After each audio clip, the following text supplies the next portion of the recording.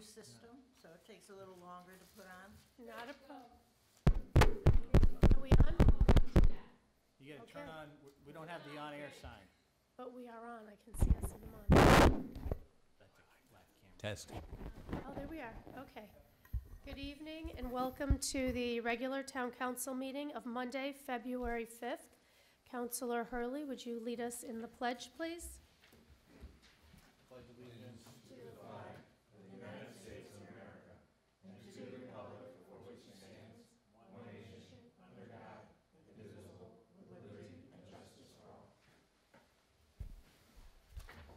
Thank you. Would the town clerk please take attendance? Counselor Breton, Here. Counselor Forrest, Here, Counselor Hurley, Here. Counselor Tina will be late. Counselor Lesser, Here. Counselor Rell, here. Counselor Spinella, Here. Deputy Mayor Martino, Here. and Mayor Morrin Bello. Here. Thank you. Thank you. Uh, We will start tonight's meeting with public comment. A reminder that comments are limited to five minutes. Do we have anybody from the public who would like to speak tonight? Come on up, Mr. Mazzarella.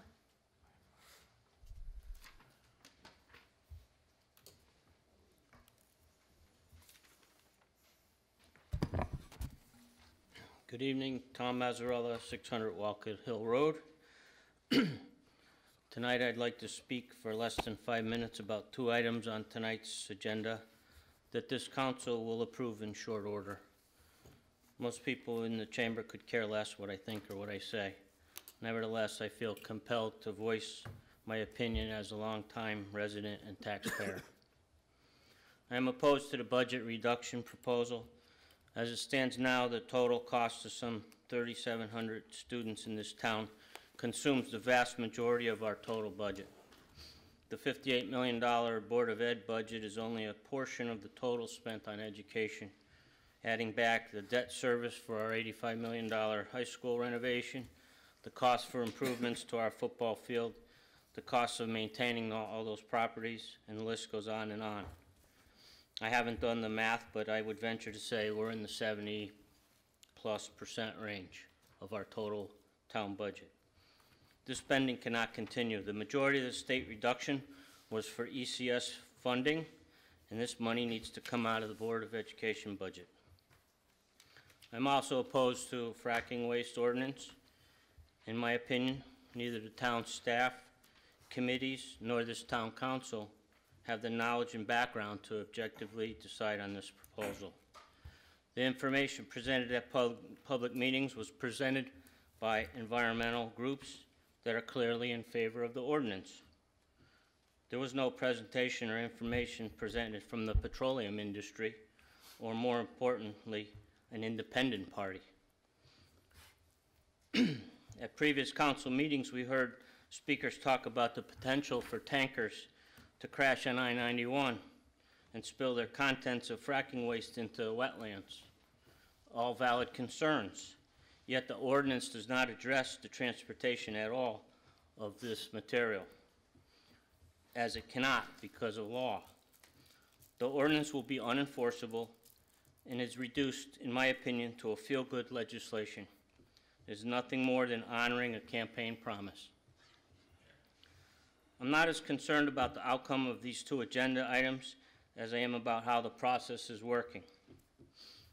In October and November of last year, we heard words from many council members like collaboration, working together as a team, transparency. I don't see any of that going on here. Councilor Spinella said it best in November uh, at the swearing-in ceremony and uh, excuse me if I don't get it exactly right, but he said that only 70% of the residents, uh, or 70% of the residents did not vote in that election. And that if you consider not only the people that voted, the vast majority that didn't vote, the retired citizens, the young citizens that may not have uh, school-age uh, children in the school system. And if you consider all those people as a whole, when you make each of your decisions, most of the time you're gonna get it right. And I would just ask that you think about all the people that you're representing when you decide on each and every item. Thank you. Thank you. Is there anybody else who'd like to speak? Come on up, Mr. Colantonio.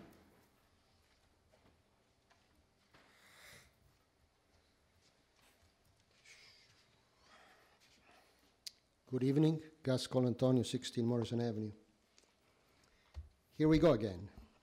A little bit of uh, history, showing a little bit of arrogance in an email from Bonnie Tarian to Andrew Power. This was in 2008. Here we go again, Handy.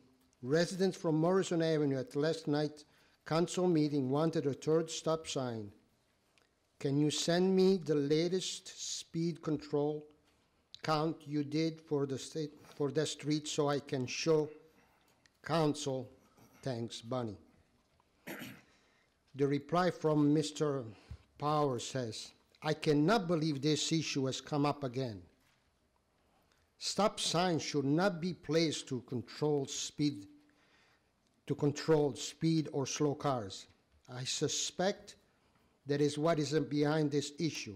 You, me, we need to stress to council, I guess it's you, a bunch of lies, to council that putting up stop sign to control speed is not within the guidelines and would set a bad precedent.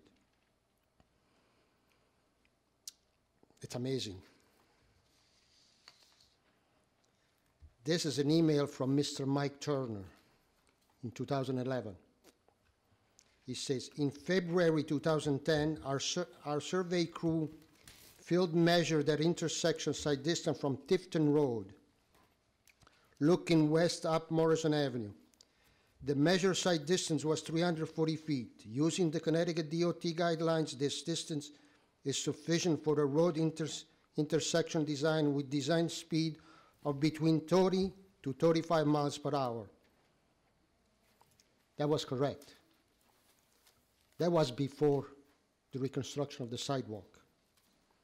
After the reconstruction of the sidewalk, I did use a yardstick and I got the intersectional side distance 240 feet.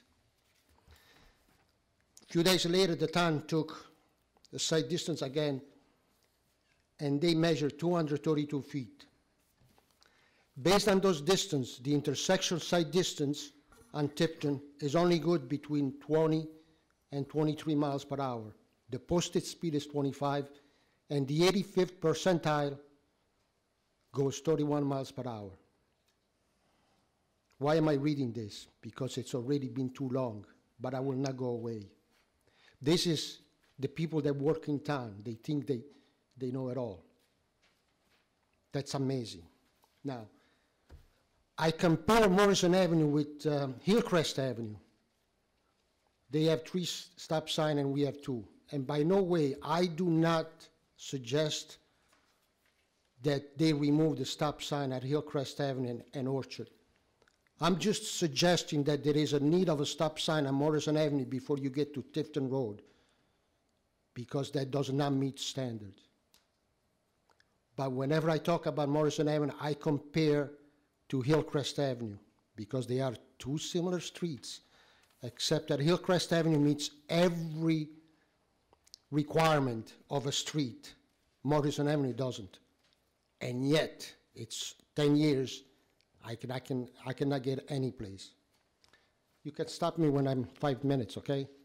You have time. Oh, okay, oh, beautiful, thank you. Now, let me, let me go again, like, uh, the, the difference between Morrison Avenue and, and Hillcrest. And, and again, Hillcrest has three stop signs, and we have only two. Morrison Avenue is 24 feet wide, Hillcrest Avenue is 30 feet. Safe, right? Morrison Avenue has a three-foot grass strip, Hillcrest Avenue has a 15-foot grass strip. It's kind of nice. Morrison Avenue has an average daily traffic of seven- 730 cars per day. Hillcrest Avenue has an average daily traffic of 365 cars. And this is the result of they have three stop signs and we have two. That's why. And before I forget, I'm home, retired. And every day I see the Lamour trucks going down, not up, down the street, four or five times. I bet they never go by Hillcrest Avenue. You know why? They tell me. I talk to people. It's because of the stop sign. Well, I'm almost, I'm almost done, so I'll be back. Thank you for now. Thank you. Is there anybody else who'd like to speak tonight? Okay, come on up. I'm Diana Evans. I live at uh, 22 Beverly Road in Wethersfield. Um, I'm a uh, director of Great Meadows Conservation Trust, and I'm here to speak to the fracking waste ban proposal, um, proposed ordinance um, that's on the agenda for tonight. Um, I'm here to read a statement uh, that actually comes from an analysis of the proposed ordinance that was done by Food and Water Watch, Jen Siskin, who came to speak um, last week and, and gave us so much information about fracking waste in Connecticut um, and about the model ordinance that 34 Connecticut towns have already passed. Um, so uh, we, um, the Connecticut, uh, Wethersfield Women uh, for uh, Progress, Great Meadows Conservation Trust, and Connecticut Food and Water Watch um, object to the sunset clause. We um, very much appreciate that this um, moratorium was reported out of committee, but we do object to the sunset clause, which none of the other ordinance ha- ordinances have. None of the other 34 towns included a sunset clause. And I'd like to um, just read the analysis um, of Connecticut Food and Water Watch. I'll be as quick as I can and edit it a little bit. I just received this literally 20 minutes ago. So um, I printed it out on my computer as fast as I could, and, and here I am. So um, we ask that the ordinance be sent to a public hearing without the sunset clause added in. We very much appreciate um, those council members who took the time to do research and review the analysis from the Office of Legislative Research. But those individuals may not be aware that the OLR reports have a gross error and are missing certain information. Um, Therefore, the reports are not really a very good basis um, for understanding the waste or making decisions on how to ban it in our town. The OLR summary- incorrectly claimed in 2014 that future regulations can ban all fracking waste. If you go to the actual bill language, however, future regulations are only permitted to ban products spread on the roads. As we learned from the presentation at the library last week, um, the moratorium only bans some waste from one pro- process or things derived secondarily to that process, the hydraulic fracturing process, and for gas wells only. Um, all other regulations will lead to permits. While the waste will be required to meet hazardous waste laws, the standards of hazardous waste laws, another problem is that the waste exceeds hazardous waste guidelines because of the radioactivity. There is no federal agency providing regulations for this type of regulations, at ra- radiation, and efforts by the House last year to pass a ban based on the moratorium language also removed all requirements that DEEP take this radiation into consideration when allowing it for research. Section A of the Sunset Clause um, led to questions from our members. What do the words addressing the prohibitions actually mean? Um, that verb is, um, is rather vague. So having a, also, having a sunset clause that makes part of our ordinance expire will not protect us in the future. What happens if, in the future, the state decides to start using fracking waste on roads? Where does that leave Wethersfield? This portion of our ordinance will now have expired and we won't be protected. Um, Regarding Section B, quote, "In accordance with and subject to the provisions of Public Act 14200," um, we find that that, e- that, that act was weak. It lacked needed definitions, it needs to be amended and improved. Um, All of the definitions and prohibitions that exist in this local ordinance should be added into the moratorium language, and the law should be changed to be a permanent ban. It's not certain that our legislators will do so. Regarding Section C, this ordinance shall not be interpreted to prohibit research activities. And as mentioned before, in creating a weak ban last year, the House removed all requirements that DEP's regulations would protect public health and the environment from radioactivity. And therefore, we find um, this clause to be problematic as well. So um, we certainly appreciate the efforts of the mayor and the councilors um, to research and understand this issue. Um, We do believe that Wethersfield can show exemplary leadership, and we hope that tonight you will send it to a public hearing minus the sunset clause. Thank you very much. Thank you. Is there anybody else who'd like to speak tonight? Mr. Young?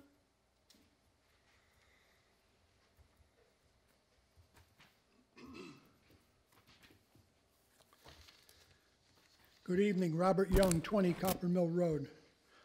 Um, When Tom was up here earlier and mentioned the, that 70% of our people did not vote, our voters in town, he's so right. And I don't know, but that, do- I don't think you're really up here with the graces of all the voters. I'd like to talk tonight about the fracking, which we had a speaker, we had a number of people up here tonight already talking about that.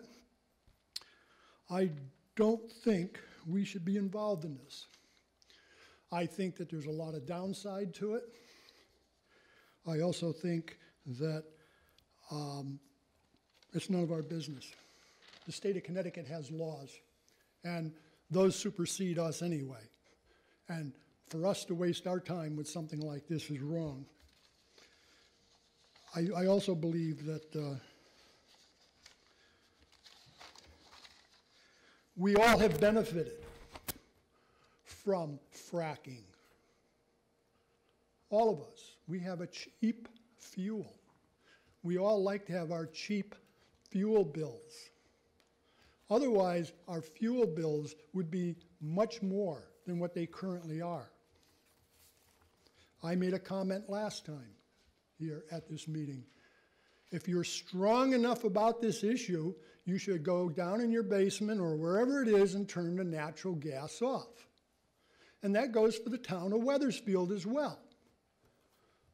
After the meeting, I went outside to my car and I noticed that we have a car, or several, I don't know how many, one or two, that are natural gas.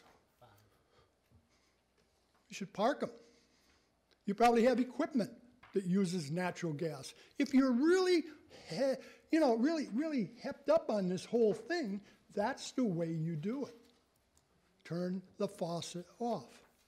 Go find another source of fuel. You may have to pay more for it, but that's how liberals are. You're willing to pay more for something else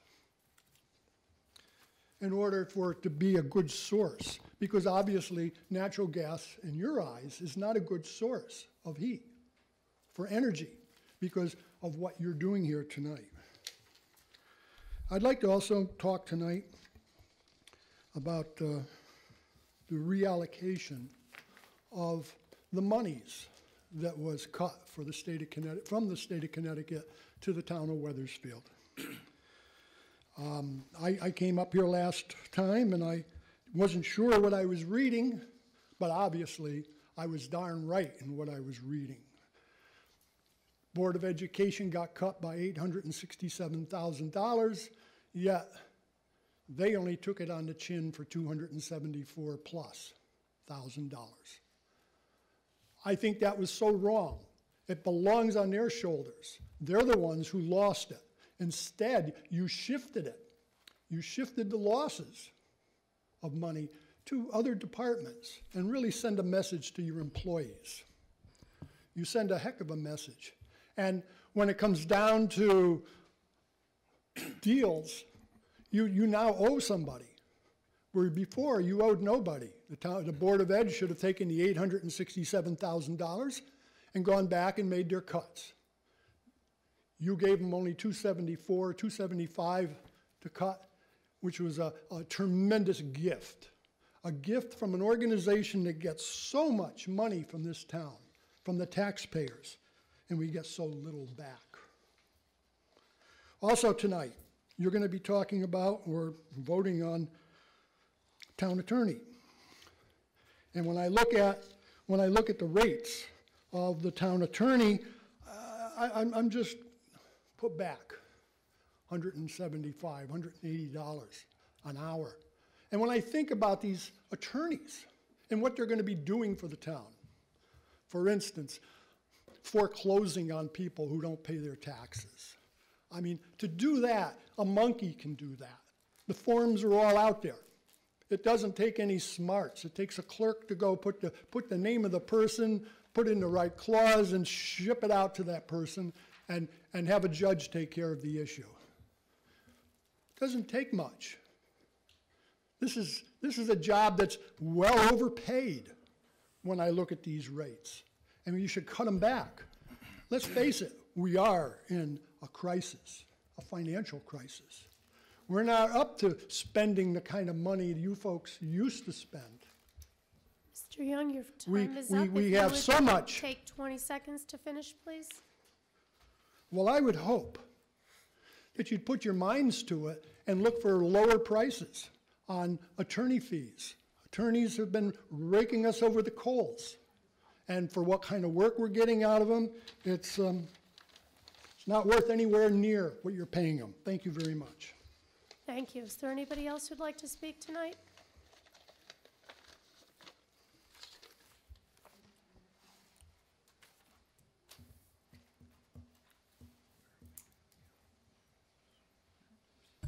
Hello, Casey White, 91 Center Street. Um, I just want to say regarding the fracking ordinance that's proposed, um, I would prefer for not, not to have the sunset ordinance, but mostly I want to say thank you to the members of the Public Works and Infrastructure Committee who um, passed this to come out to a general vote. So I appreciate that, and I'm looking forward to hearing from more people uh, about, about this issue. Thank you. Thank you. Is there anybody else who'd like to speak? If not, we'll declare the um, public comment closed. We'll move on to council reports. Are there any council members who'd like to make a report? Okay. Deputy Mayor? The uh, Budget and Finance Committee has met since the last time. Uh, They interviewed town attorneys, and a selection on that is later in the agenda.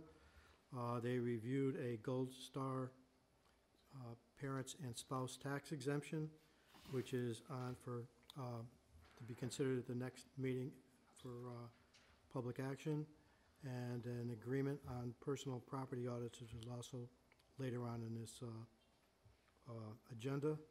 The Senior Citizens Advisory Commission met, and they're still working on their spring project. Uh, The Capital Improvement Advisory Commission has been meeting. They finished last week with their meeting with all departments and the Board of Ed.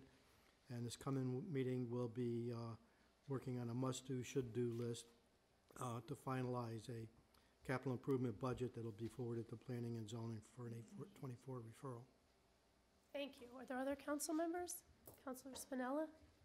The Public uh, Works Committee met and took up the fracking ordinance, and we did uh, recommend that this be brought to the full council on a vote of three to one with the um, sunset ordinance uh, in place as it is. Thank you. Councilor Breton? Yeah, um, on January 8th, I met with the Shade Tree Commission, um, and I learned about their uh, new webpage that's coming, soon to be coming. Um, As part of the town website, they're going to be putting notices of tree removal on that website, among other things. Um, And they are continuing to work on the tree ordinance. Um, Also met with the library board, and they accepted their strategic plan. Um, And we will see that strategic plan come to town council for, um, for report. Uh, They also are working on a new website that'll be coming in March, and they've started to use their new logo. I think I've already seen it out there. Um, We just, earlier this evening, um, met with the, the pension committee, uh, reviewed the pension. Uh, The plan's assets uh, earn close to sixteen percent on market value basis and eight point seven percent on an actuarial basis. And the plan's, uh, the plan's funded ratio is um, at uh, near eighty percent which is, which is a good place to be. It's well-funded. Um, And lastly, the public safety um, met, um, we reviewed the need for some fire engines, and uh, there, we'll also be talking later on in the agenda about the retired police officers for traffic duty. Thank you. Are there other counselors? Go ahead, Counselor Hurley. Um, the rec board met and they're talking about getting the, uh, the boat ramp into the cove by September. And that'll be the last big item down at the cove that has to be done. And then they're gonna start looking at signage and other things, um, that can happen down there. Thank you. Counselor Lesser? Thank you, Mayor. I have two. First, a few weeks ago, the Shared Services Committee met. It's the first meeting of the new uh, counselors elected and the new board elected. And we talked about a framework for moving ahead, trying to establish uh, some goals. Specifically, we're taking the approach that it's not the board side or the town side, but it's just Wethersfield. Uh, And then specifically, we talked about the upcoming retirement of uh, Fred Bushy, head of Physical Services and Education uh, side. And we talked about the possibility of potentially having the town uh, take over the maintenance of the schools, but that was just a discussion item, so we made a lot of progress, and our next meeting is in March. And the second uh, and last report I have is uh, the Chamber of Commerce meeting this last Thursday, February 1st. We talked a lot about their upcoming events this spring, the car show, the fireworks that they're very excited about, and specifically wanted to mention their annual event, uh, awards event on May 9th. They are changing the structure this year to have it a best of, so a best of Wethersfield. So things like best pizza in Wethersfield. So there will be an opportunity for you guys to, for all public to get their votes in, uh, the best of Wethersfield. So it was a very lively chamber meeting. Thank you, Mayor. Thank you. Other council reports? Okay, if not, we can move into council comments. Are there any comments? Councilor Hurley? Um, I just wanted to ask Jeff if he could give us an update on the fund zone development or at least at net, the next council meeting. Um, The Borden project continues. Uh, The owner is still working towards closure on the property. Uh, Town staff and uh, the town attorney is going to meet with uh, CRDA staff later this week to um, put together the CRDA agreement for the council to approve. Uh, The CRDA is providing $5 million to the project, so um, that process continues. Are we gonna approve that agreement before the other is through? Say again? Are we approving the five million before the other finances are done? Well, what you're gonna do is you're actually gonna invite CRDA in to administer the project, because they're gonna hold the funds. Thank you. Okay, other council comments? And just as an aside, there'll be an agreement with the developer at CDRDA also. Counselor Lesser? Thank you, Mayor. I'll just mention that this past Friday night, we had a, the wine and whiskey event fundraiser to support the charities that the Wethersfield Mayor's Ball has been supporting. We had a great turnout of about hundred and thirty people, many people here on the council and the public, uh, watching, uh, at home attended. And just as a reminder, we're supporting three very important charities in town. They are the Senior Meals Program, the Weekend Backpack Program, and then the Early Childhood Education Scholarship Program. So thank you for everyone for their support. It was a great event. Thank you. Counselor Rowe?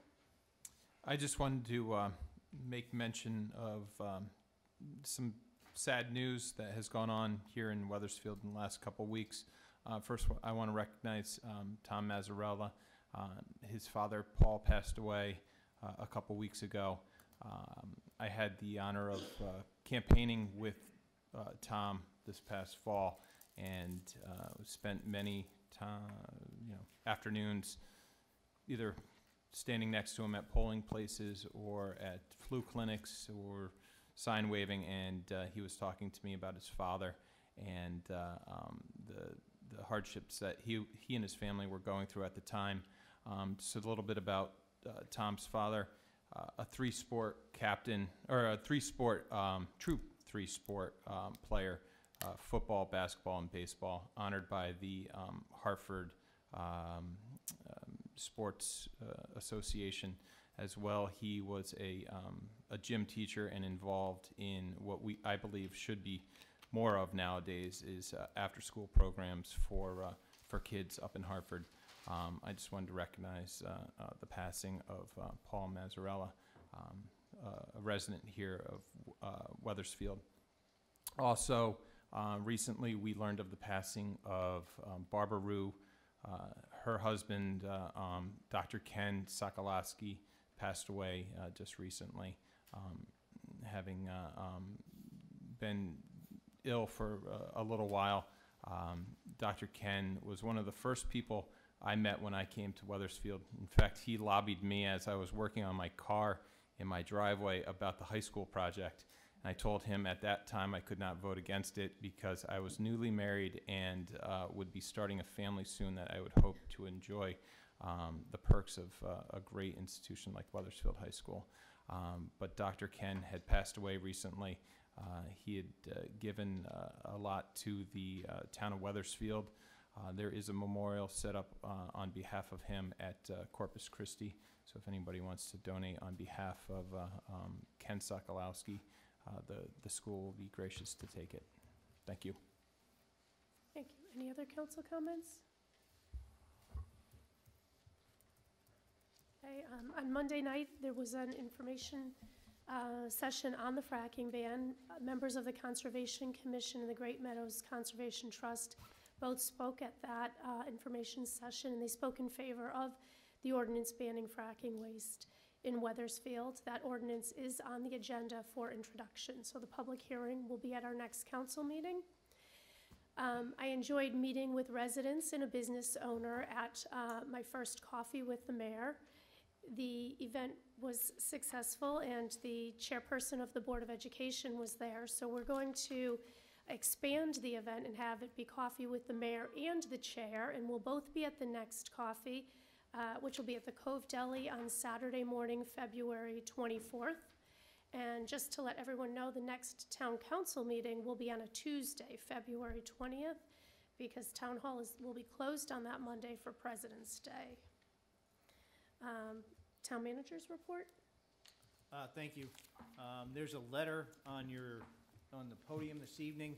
It's from the Department of Education as we talk about these budget cuts that you'll uh, be considering in the next few minutes. Um, One of the assumptions that most towns had was that the holdback cuts would be considered cuts as adopted in the budget uh, by the legislature. Um, The Department of Education has um, decided not to consider the holdback cuts, um, adopted cuts, for purposes of the MBR. So, um, I don't know what legislative wisdom or, in- um, um, what did I, what did I? No, what did I want to call it? I wanted to call it, um, August body? no, integrity, I think was the word or lack thereof of, of their, uh, of their, how they're treating local units of government at this point and what they consider cuts and what they don't consider cuts at this point. But had you taken the full eight sixty-seven, it would have not been allowed to be used to reduce the MBR. So the course of action tonight is probably fortuitous. We haven't run those numbers, but the Department of Ed would not let you take it as a reduction of the MBR. So Okay, intellectual integrity is what I was looking for. Okay, thank you. Town clerk, do you have any communications? I think I gave you both of the informations that we had um, received. One is that I have to report to the state on the number of voting um, voters we have and the number of machines we use because you are all responsible for it. So uh, that is at your table to- at the desk tonight for you. And the other is, um, I did give you another copy of um, change in the law for those people who, uh, um, those uh, supported our veterans, whether they had served recently or a long time ago, and if they're, are they having, introducing a new tool that would allow individuals who had, um, for guidance for how they would like to upgrade or change their military discharge. Some of them were, could have been very injured that they didn't recognize it at the time.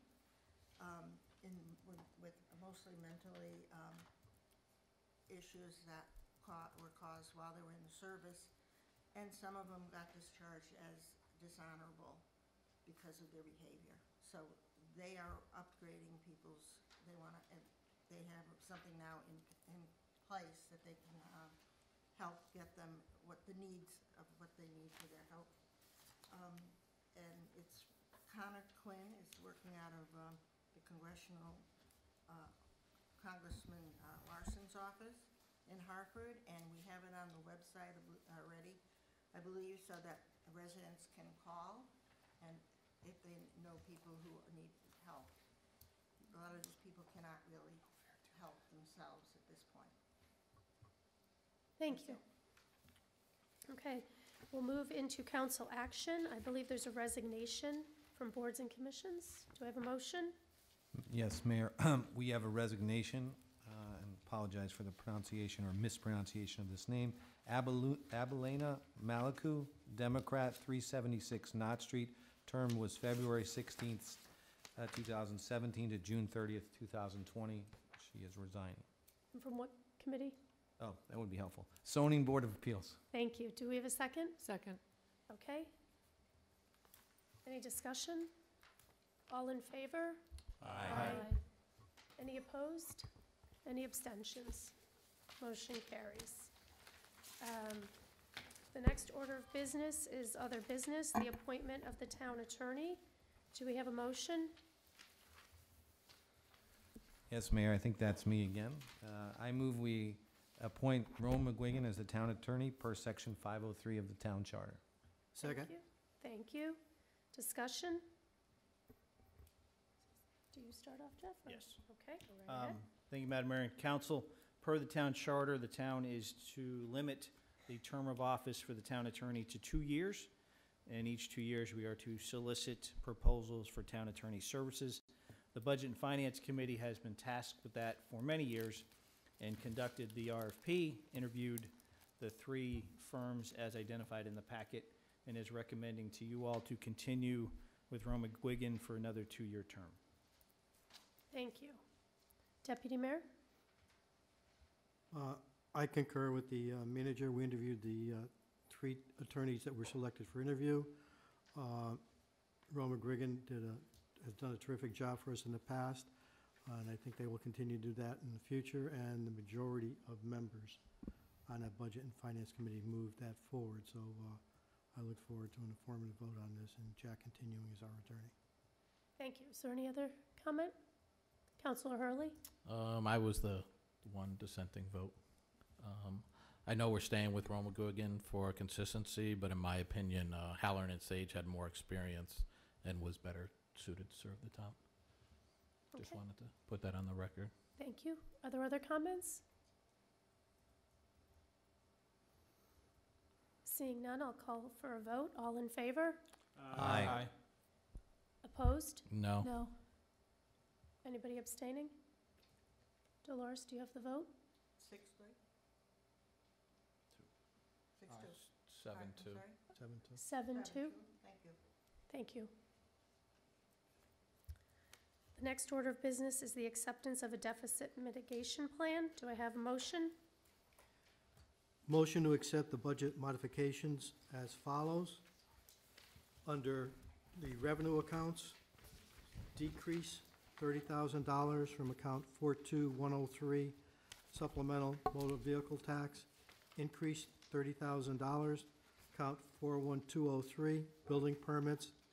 Decrease nine thousand eighty-five dollars from account four-two-five-oh-one state pilot, state-owned property decrease three thousand five hundred and fifty-seven dollars from account four-two-five-one-five, state pilot, colleges and hospitals. Decrease forty thousand nine hundred eighty-two dollars from account four-two-six-one-seven, municipal stabilization grant. Decrease eight hundred and sixty-seven thousand six hundred and seventy-four dollars from account four-three-oh-oh-one, educational cost sharing. Increase forty thousand dollars to account four seven four oh one, investment income. Increase seventy-one thousand five ninety-one from account 48924, CIRMA Equity Distributions.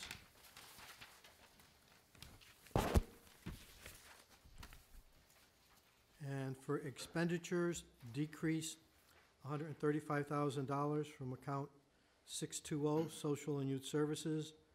Decrease $20,000 from account 700, Public Libraries. Decrease $20,000 from account 800 for Park and Rec.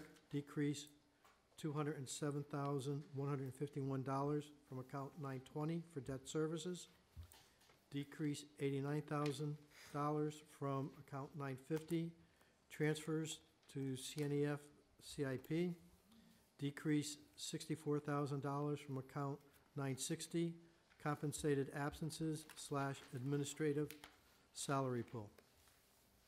Thank you. Do I have a second? A Second. Okay. Manager? Uh, Thank you, Madam Mayor and Council. These are the uh, adjustments, and we're going to call them adjustments, not amendments, to the budget that staff is recommending to account for the roughly $922,000 reduction the governor chose to impose on us after we've readopted our budget in October or November of last year. Um, These are uh, various accounts uh, which impact some programs for a short period of time. The expectation is that these would have to be restored next year, but for this year, these adjustments are made with limited to no impact on the overall program.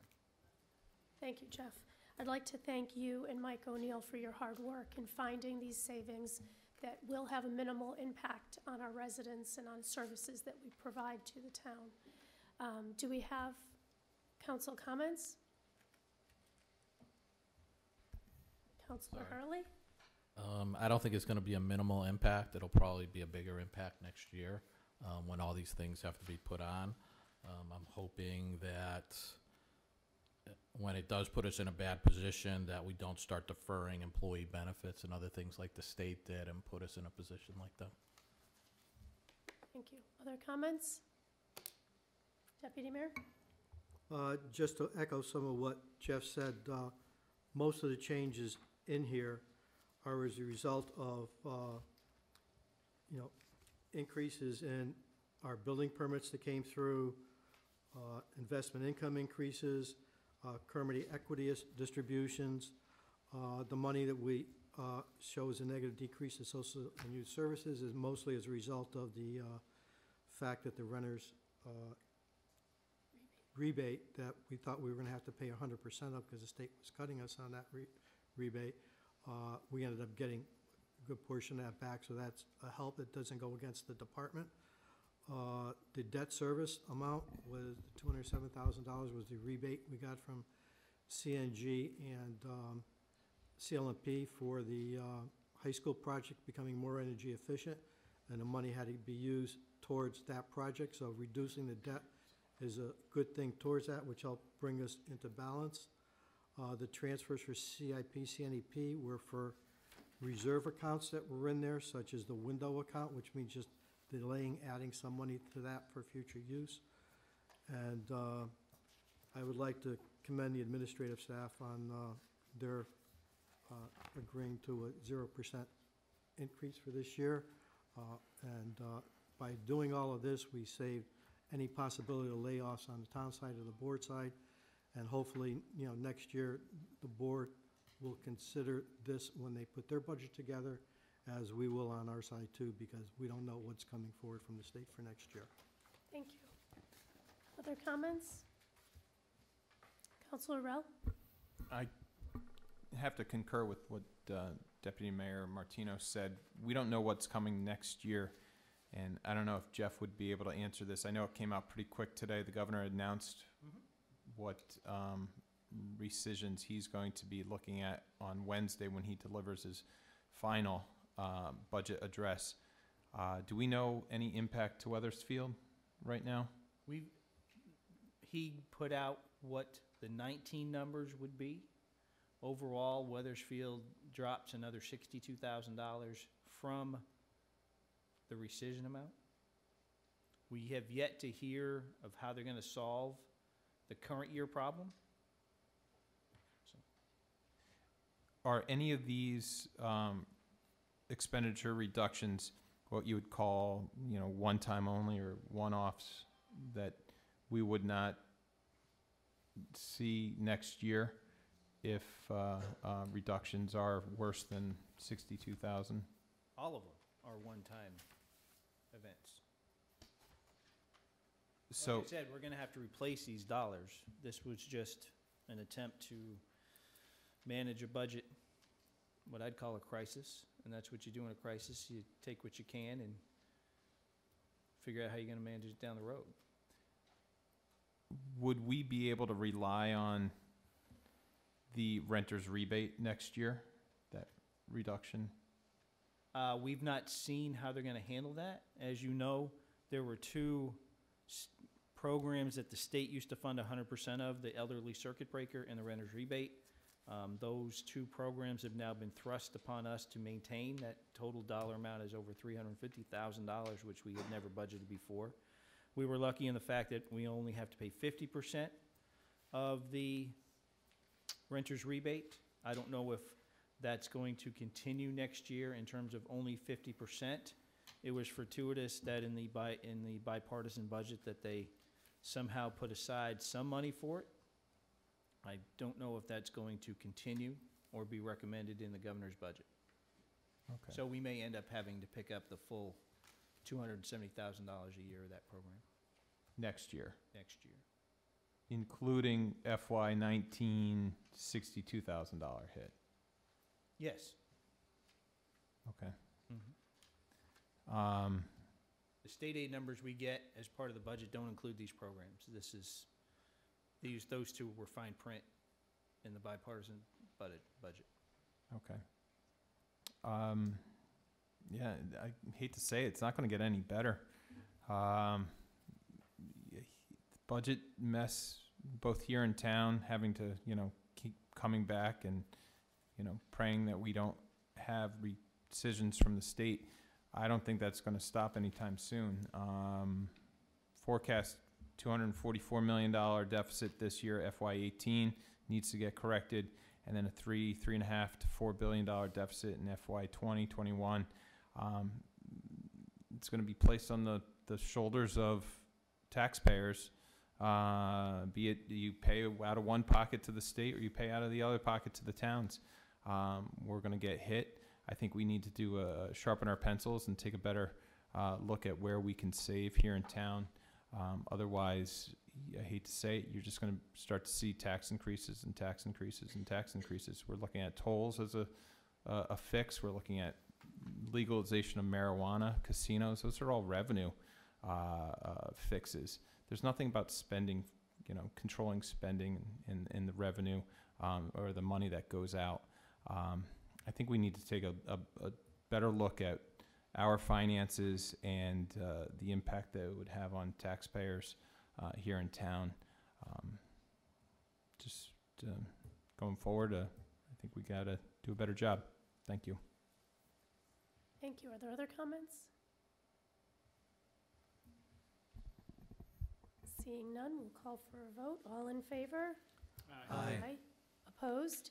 No. No. Okay, anybody abstaining? Dolores, do you have that vote?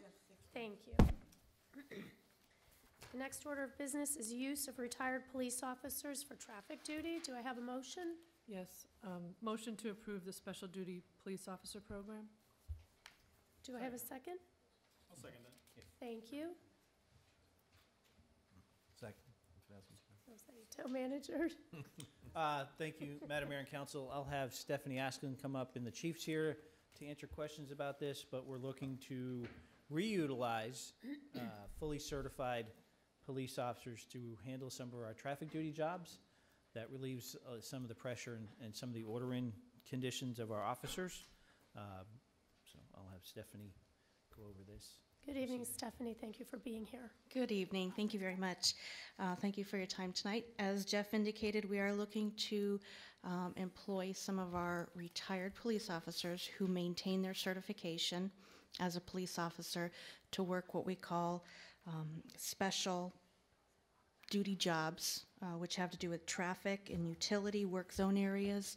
Um, This would allow officers not to be ordered in, uh, and it would increase the pool of individuals that we could use for these types of positions. It is on an as-needed basis. Uh, It's considered part-time. They would, uh, they're considered non-union individuals. So again, it's, you know, part-time, just as we have other part-time employees. They would be paid an hourly wage, which would be the top step of the police officer at time and a half. They would be, uh, there's certain minimum uh, hours that they would be paid for if they're called in uh, and the job is canceled and such. Are there any specific questions I can answer for you? Um, Yes, let me begin. So is there any cost to the town for having, for starting this program? No, actually, I believe it'll save some cost to the town because the way that, that it works now is when there's a special private duty job, they put it out for the police officers. If no one takes advantage of it, um, then they'll contact other towns to find out if they can get someone to fill that position. If they cannot, then they have to order someone in. Now, when they order in, it's in reverse seniority order. So the person with least seniority is often called in, uh, so they're unable to take vacation some time or it impacts the, the life-work balance for them. So I think we'll actually see some, some improvement as far as uh, individuals lower on the seniority list, getting to take some time off, rather than always being the ones that are ordered in. Just one additional comment to that. The payments for the special duty officers are not in the general fund. So that money that we get from the contractors goes into a special duty fund. Payments go to the um, officers who conduct the duty out of that fund, so this is not a budgeted fund. Now, we do, because part of the fee we charge to the contractors includes administrative expenses that covers the cost of the police car, insurance, pension cost, and some of our soft cost. Uh, there's a piece of that special duty fund that is transferred as part of the annual budget back to the general fund to cover our costs. So this really does not impact the town budget, other than through um, a recouping of our soft cost. Thank you. Are there other questions? Counselor Latina? Hi, Stephanie. Um, did we have conversations, the union's okay with this, they're not, we're not breaching any contract with current employees? No, actually, the union came forth to us in regard to this, uh, and, and they're very much in agreement on this. Okay, thank you. Counselor Forrest? Does a, um, does a police officer who's serving as a private duty, they, they probably are not necessary. this is for Wethersfield cops, but generally, could they also be Wethersfield police, but they could be, you know, other towns' police, but they're doing a shift over here or something like that? That? That's correct. The way, it- the way the program works right now is when there is a special duty, private duty job, it's posted for all police officers within the town. If no one accepts it, the town will seek from other towns someone, an officer to fill that position. And is there, is there an alternative to having a, I'm- I'm guessing this is for traffic flow during construction times on roads and stuff like that. Is there, is there an alternative to using a police officer? Are we required at law to use a pol- police officer? I'm going to defer to the chief on that. And, and we may be, I'm I'm asking. I think that's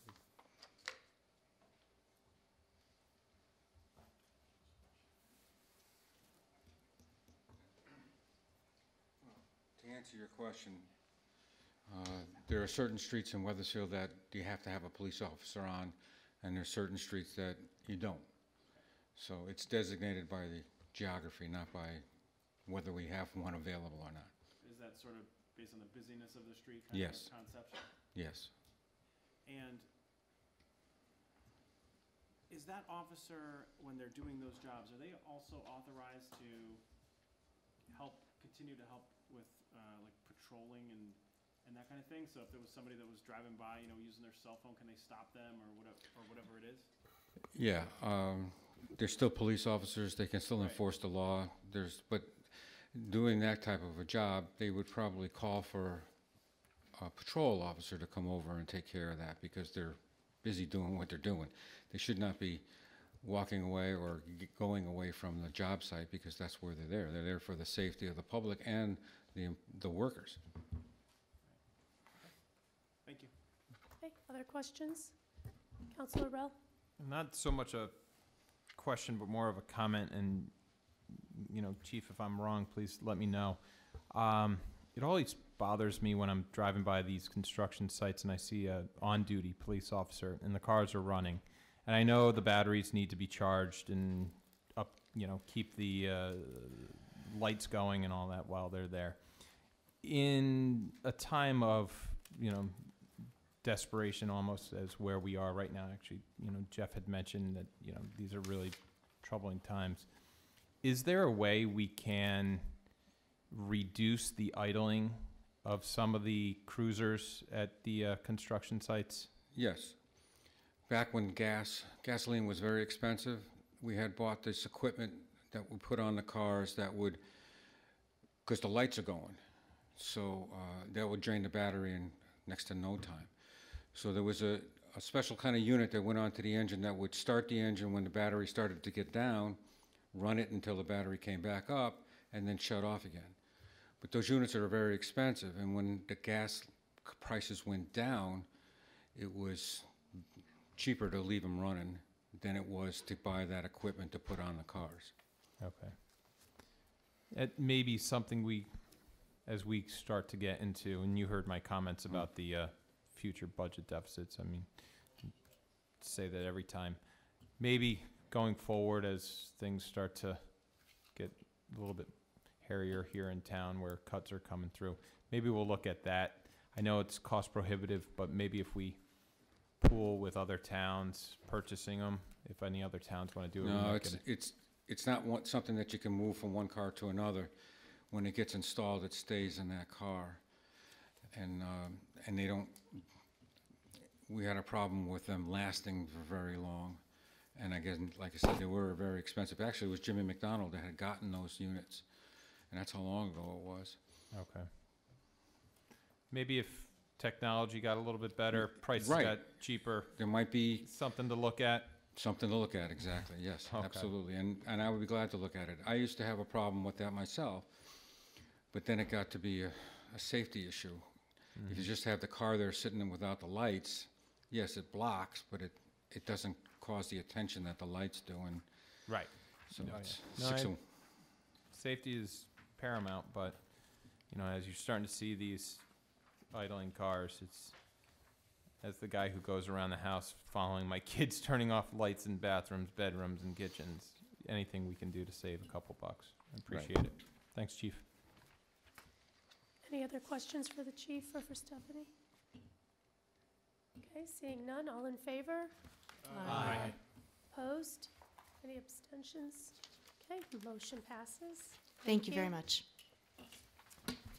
The next is the agreement for personal property audits, and we have the town assessor here. We have a motion? Uh, move, I'll move to approve the use of Tax Management Associates, Inc. for business personal property audit services. Okay, Thank you, Madam Mayor and Council.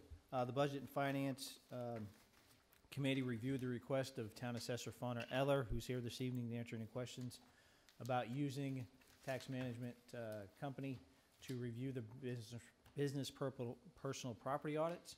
We currently audit five to 10 accounts per year, um, and uh, this would allow for an audit of the accounts over three years, uh, um, every account over fifty thousand dollars. Um, this kind of works in, hand in hand with the re- reval that's going on. Um, if there's questions for Fauna, should be sure to answer. it. how many accounts do we have over fifty thousand dollars? I'll wait for Fauna.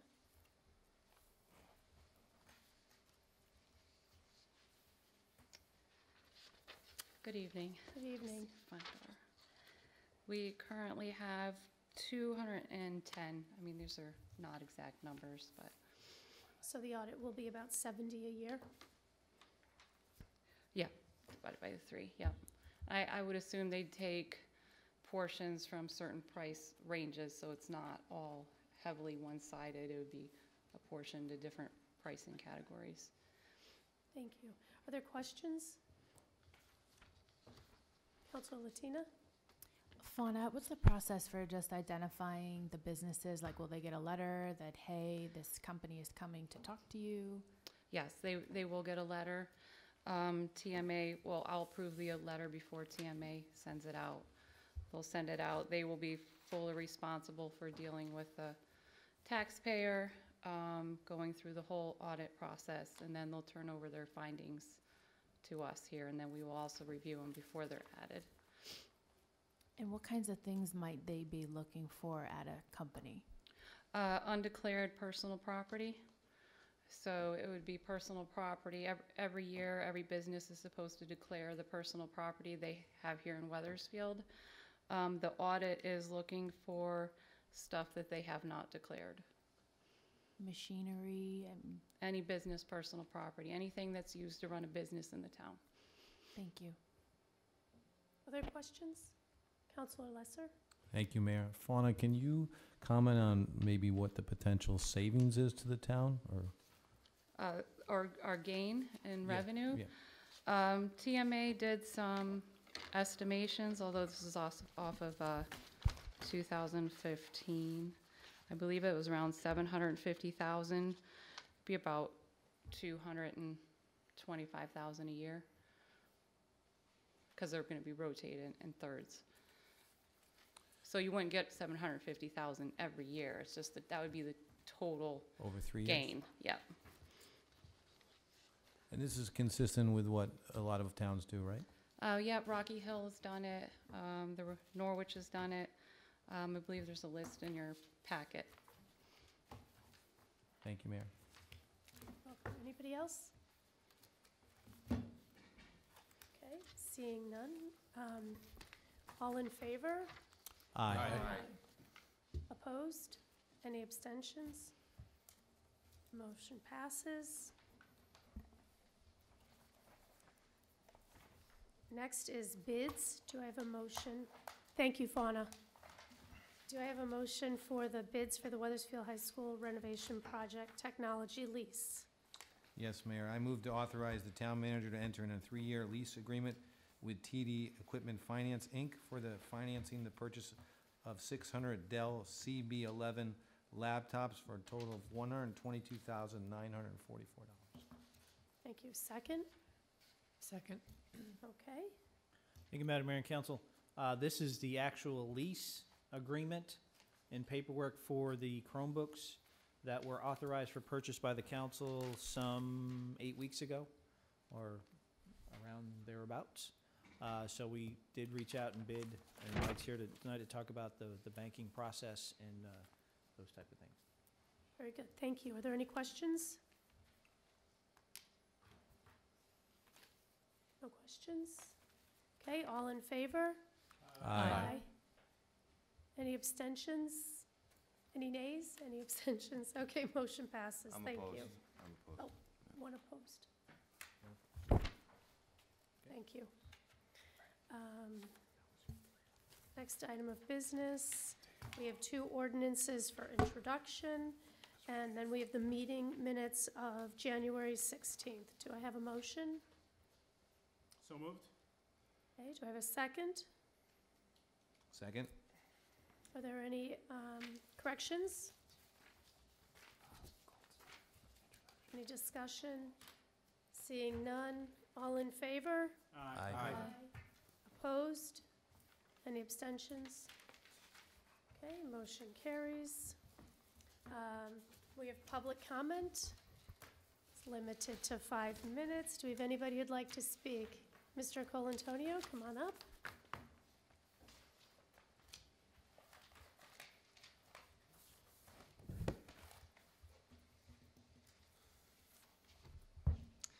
Good evening again, Gascol Antonio, 16 Morrison Avenue. We live in a crooked society. Now, I did not really understand everything, but uh, I guess right now there are officers that uh, trying to to direct traffic during construction. We're going to be hiring retired officers at a step-up pay, which I don't know what it means, and one and a half times the salary. It seems to me that basically overtime pay was after 40 hours, not if they call you. But I do not understand that anyway. It seems uh, the time doesn't pay, well, the contractor pays. The money has to come from someplace, but I do not understand. But let me go back to the stop sign. Uh, And I was comparing Hillcrest Avenue with uh, Morrison Avenue.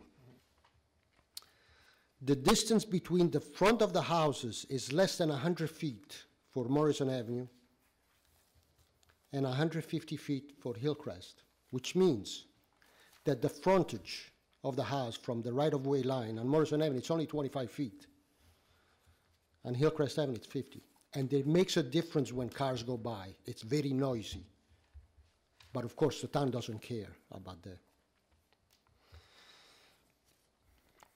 Orchard Street and Tifton Road connect to Morrison Avenue. Orchard Street and Tifton Road connect to Morrison Avenue.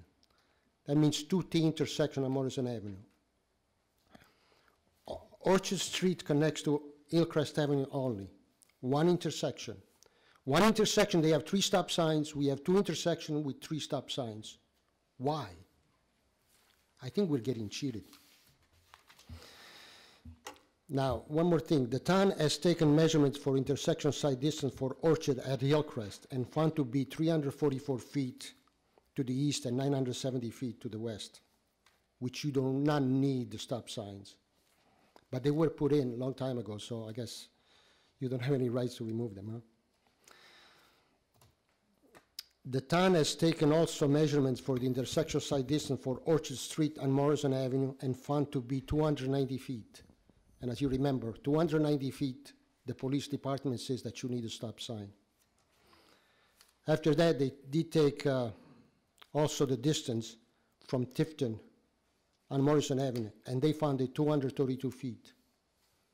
Now, if they say that you need a stop sign for 290 feet, don't you think that 232 feet, it's also needed a stop sign? No. I worked in engineering for 37 years, 37 years, and the accountability of the people in this town is atrocious.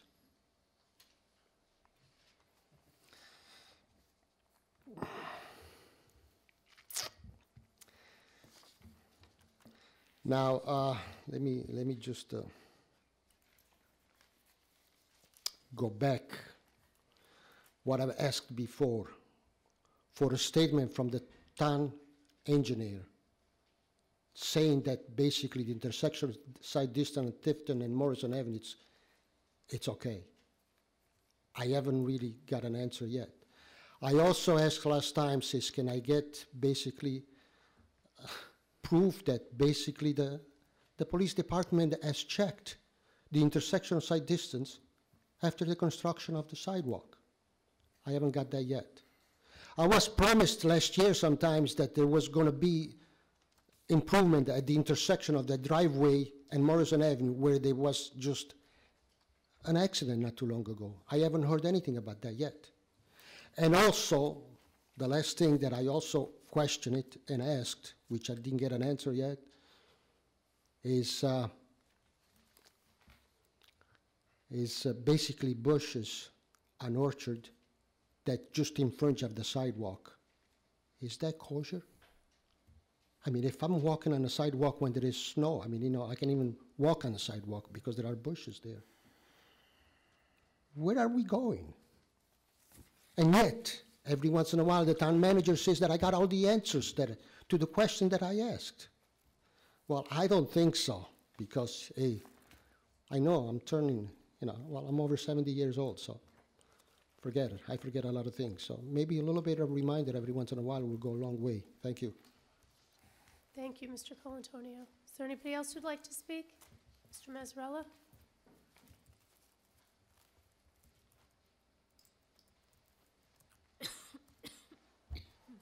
Tom Mazzarella, 600 Wolcott Hill Road. Uh, Thank you, Mr. Rell, for the kind words. Appreciate it. Um, I just wanted to, I don't know, give a little education to the public, to the counselors that may not be uh, up to speed on how personal property tax impacts businesses in town. I just recently, uh, well, I'm in the process of closing my own business, been in operation 30 years. Uh, when a business buys a piece of equipment, it can be something as insignificant as a desk or a chair, or a computer, or a phone, or a truck, fork truck, uh, racks, anything. Uh, Those items are, are deemed as an asset, and they go on a depreciation schedule. And each year, that depreciation schedule is submitted to your town, and they ass- assess tax on the use of that personal property, and it's based on the mill rate. Now, those items that you purchase deteriorate over time, and you're allowed to depreciate the amount for all those uh, items. Some at a different schedule, depending on if it's electronic equipment, computers, things that expire more rapidly than your furniture. But it never goes to zero. It goes to 30% and stays that way. So the desk that I bought 30 years ago, every year I pay taxes on 30% of the value of that piece of furniture. And the average public, I don't believe, realizes that. And uh, this is why it's important to keep the mill rate down to attract businesses. Because that's a, that's a cost that nobody really sees. And uh, it's a significant cost. In my business, I pay more for personal property tax than I do for real estate tax on the building I own. Uh, So it's significant, and you can imagine if it's a company the size of Pratt Whitney or something like that. You know, you're just talking a huge amount of money. And for the little guy that has just a little shop in town here, he's got to come up with that money every year. And he doesn't get any more out of that desk than he did the day he bought it. Thank you. Thank you, Mr. Mazzarella. Is there anybody else who'd like to speak tonight? Mr. Young?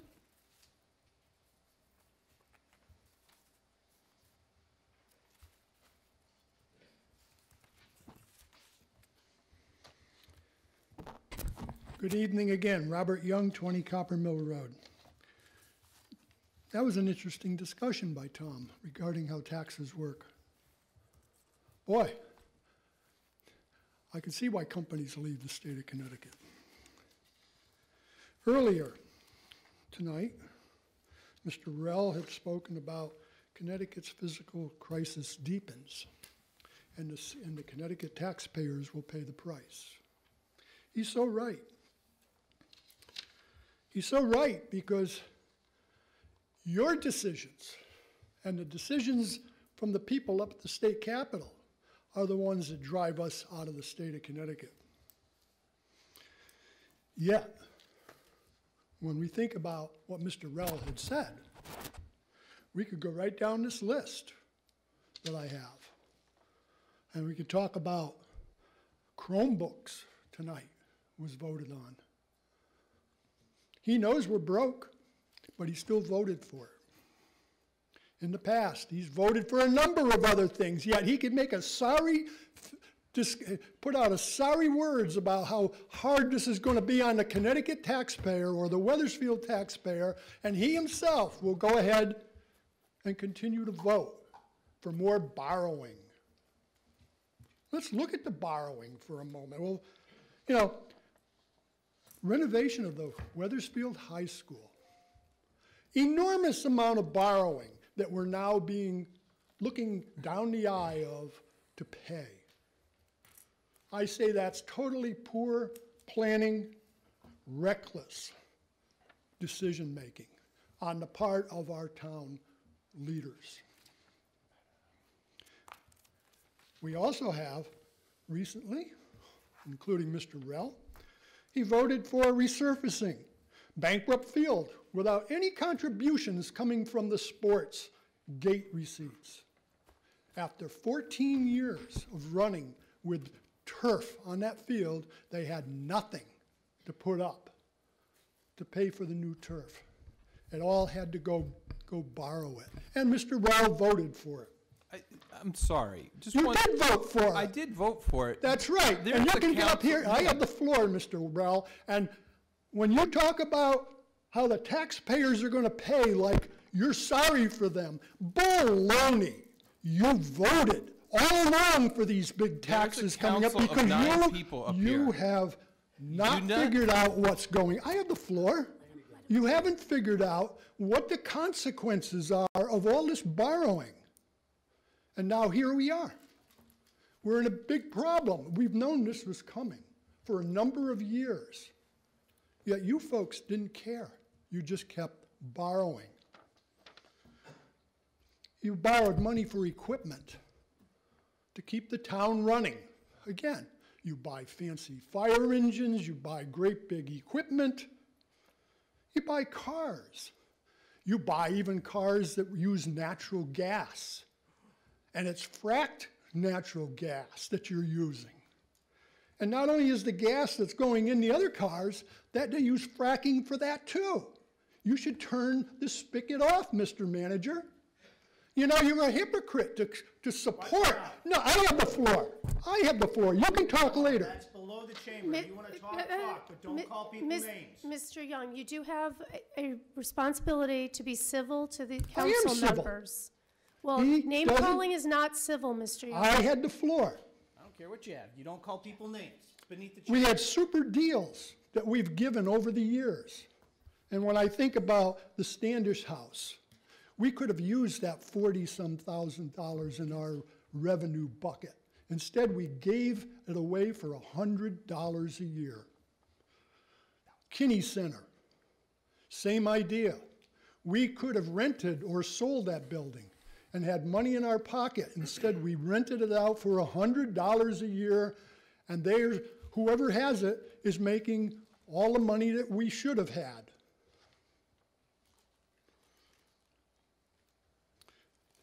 This idea tonight about the police cars sitting idling, I mean, I, I didn't know all of that was going on, with the exception as I do see them sitting there idling, but I didn't know that they had some me- mechanism in there that starts them up and shuts them down, but I I also got that on my car too.